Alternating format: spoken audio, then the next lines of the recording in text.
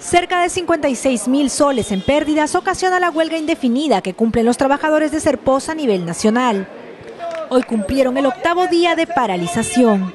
Lo básico que estamos solicitando es un incremento al básico que es bastante flexible, que es un sol por día, que, que significa 30 soles mensuales, que eso estamos solicitando, y un bono por cierre de pliego, que no, no se hace a, a estas alturas del mes de julio, no, no cierran con el convenio colectivo por culpa de los funcionarios de turno. Serpos tiene 38 trabajadores en la libertad. En la oficina de Trujillo la mayoría acató la huelga, por lo que la distribución y recepción de correspondencia nacional e internacional ha sido suspendida.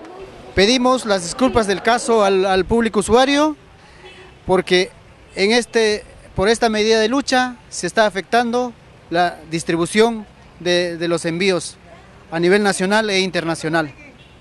Aproximadamente es más o menos en Trujillo, exclusivamente en Trujillo, un promedio de, de 1.200 a 1.500 envíos por día que se distribuye los, los, con los compañeros carteros.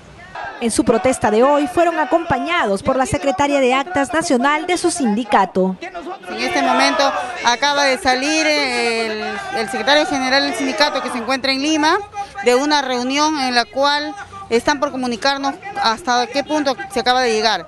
Pero nosotros tratamos hasta el momento de permanecer de manera radicalizada acá, cada uno en sus bases. Tanto como en Lima, tanto acá en provincias, tanto en administraciones locales también.